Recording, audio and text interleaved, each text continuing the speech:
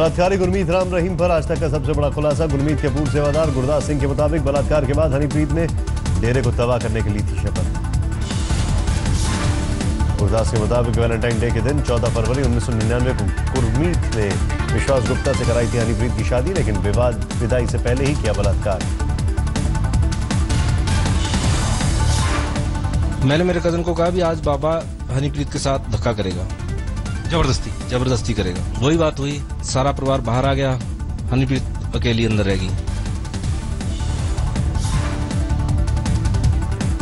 Rape के बाद हनीप्रीत ने छोड़ दिया था डेरा, लेकिन फतेहाबाद के एक ढाबे से बंदूक की नोक पर फिर डेरे में उठा कर लाया गुरमीत के गुर्गे, परिजनों को दी थी हत्या की धमकी।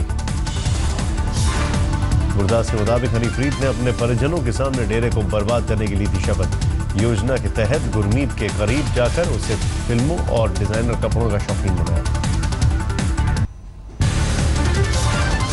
गुरदास के मुताबिक गुरमीत शुरू से ही ब्लू फ़िल्मों का था शौकीन बाद में लड़कियों की लग, लगी लत। गुरमीत ने गलत इरादे से ही डेरे में लड़कियों के लिए खोला था स्कूल। प्रेम नाम की महिला लड़कियों को गुरमीत तक पहुँचाने का करती थी काम। गुरदास के मुताबिक लड़कियों की कमज़ोरी जानकर प्रेम उसे स्वर्गनुमा कमरे में पिताजी की माफ़ी के लिए लाती। जहाँ गुरमीत उनसे करता था गुरमीत के समाधि और बठिंडा के पूर्व एमएलए हरविंदर जस्सी पर भी पुलिस ने कसा शिकंजा होगी पूछताछ।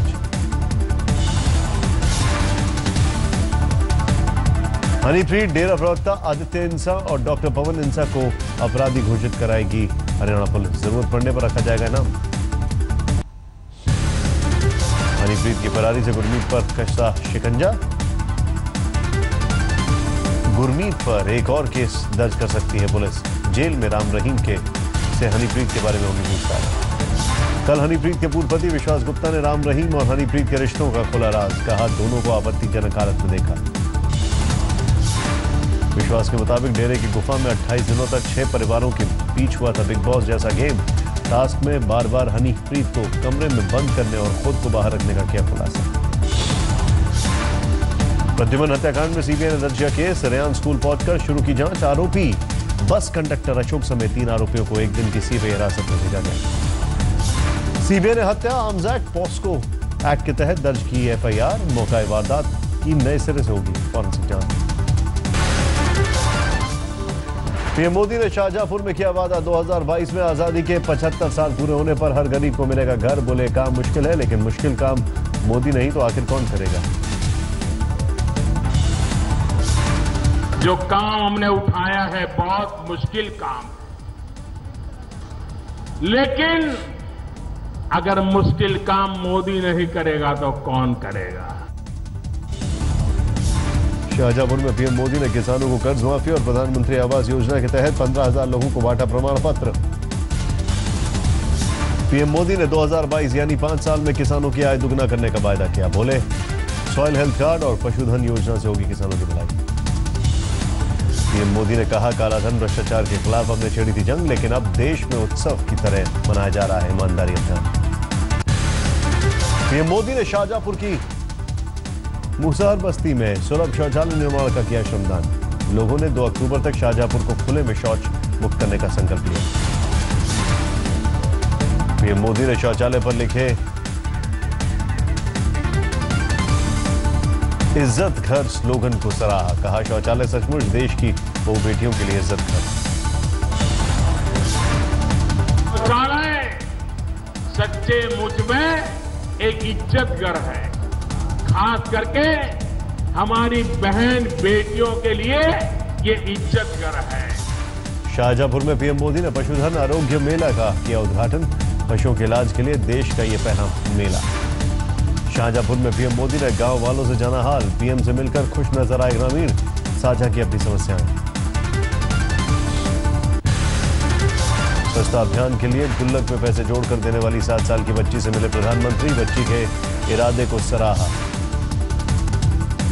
यहाँ पे गए थे तो वहाँ से मेरा नाम कट गया था। तुलसी मानस मंदिर में आ गया तो हम लोग तुलसी मानस मंदिर में गए। फिर जाके वहाँ पे मुलाकात हुई। नवरात्र के दूसरे दिन कल प्रधानमंत्री ने की शक्ति साधना। वाराणसी के दुर्गा मंदिर में माँ भवानी की विधि विधान से पूजा अर्चना की। शाहजहांपुर सीएम योगी ने किया पीएम का गुणगान, बताया वैश्विक नेता। योगी ने छह महीने में आठ लाख लोगों को दिया प्रधानमंत्री आवास देने की बात। नौ लाख सत्तर हज़ार का बताया लक्ष्य। सीएम के मुताबिक प्रधानमंत्री आवास योजना के तहत एक लाख, एक घर के लिए एक लाख बीस हज़ार और शौचालय निर्माण के लिए बारह हज़ार रुपए की रकम निर्धारित बिजली चोरी पर योगी सरकार हुई सख्त। पहली बार बिजली चोरी करते जाने पर दर्ज होगा केस, दूसरी बार गलती होगी तो सीधे जेल। महाराष्ट्र के सतारा में कल एक शख्स ने फडणवीस सरकार के शिक्षा मंत्री विनोद तावड़े पर काले फेंकने की कोशिश की। पुलिस ने हिरासत में लिया। डीजल पेट्रोल के दामों में बढ़ोतरी पर घिरी मोदी सरकार के बचाव में आ गया है पेट्रोलियम मंत्री कहा तेल दाम घटने से घटने शुरू हुए हैं, आगे और आएगी कमी। पेट्रोलियम मंत्री धर्मेंद्र प्रधान ने कहा, पेट्रोल डीजल को जीएसटी के अंतर्गत लाना चाहती है सरकार। इससे जनता को मिलेगा ज़्यादा लाभ। फरीदाबाद सेक्टर सैंतीस में लोगों का बिजली विभाग का किया घेराव, पिछले 50 घंटे से नहीं आ रही बिजली।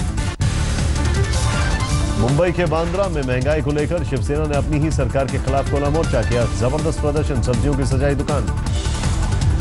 पेट्रोल, डीजल और गैस के दाम बढ़ने का शिवसेना ने उठाया मुद्दा, स्टोव पर पकाई रोक। नवी मुंबई में पानी की पाइपलाइन फटने पर गहरा पेयजल संकट, लाखों लीटर पानी हुआ बर्बाद, बिजली के टावर से भी ऊँचा उठा फुब्बारा भोपाल में शिवराज सरकार की शिक्षा मंत्री विजय शाह ने मदरसों पर हर दिन तिरंगा फहराने की वकालत की।